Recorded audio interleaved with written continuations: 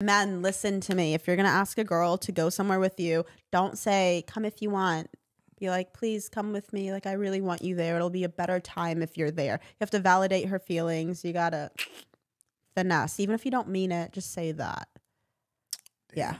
What other good like d- dating and like girl tips do you have being a girl? Oh my god. T- okay, this has never happened to me, but I see it sometimes on TikTok.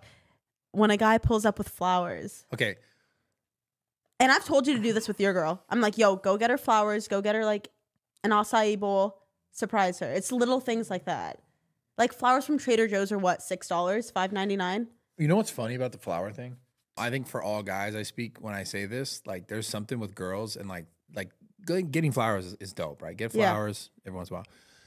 I feel like when girls, it's it's never enough.